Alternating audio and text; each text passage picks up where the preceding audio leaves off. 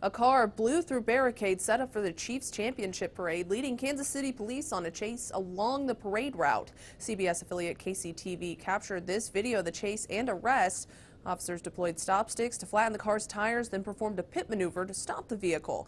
Two suspects are now in police custody. Officers say the driver is being investigated for intoxication, but police say although they, they don't know the driver's motive at this time, there are no indications of terrorism. Thankfully, no bystanders were injured in this chase. Katie Johnston for CBS 11 News.